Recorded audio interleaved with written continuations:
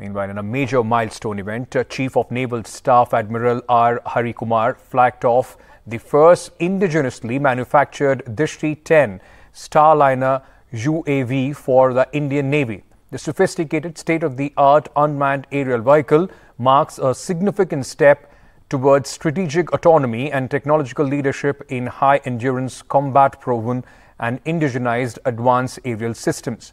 The flag-off ceremony happened at Adani Aerospace Park in Hyderabad. Adani Defense and Aerospace is building capabilities to help build a secure nation by achieving self-reliance in defense and security and also take a global leadership position in the sector.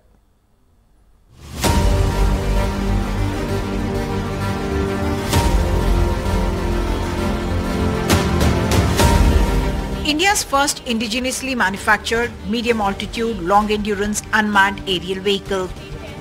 Drishti 10 manufactured for the Indian Navy by Adani Aerospace.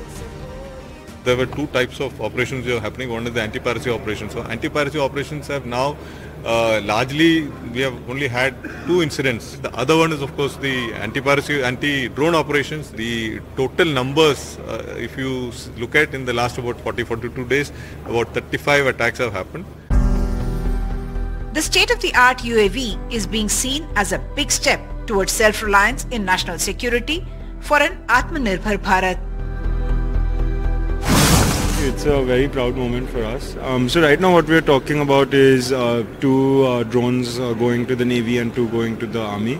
Um, there's a larger contract that we're also participating in um, that's not closed yet. That's for about 97 uh, of these drones uh, being supplied to the Navy. Very proud moment for us. It's a flagship, it's a watershed moment for India. It's a dream come true for our chairman, Mr. Gautam Adani, who always talks about the vision of how do we support and play a humble role in India growth story and supporting the Indian Armed Forces. Drishti 10 Starliner UAV is being sent from Hyderabad to Porbandar in Gujarat and will become operational in a couple of months.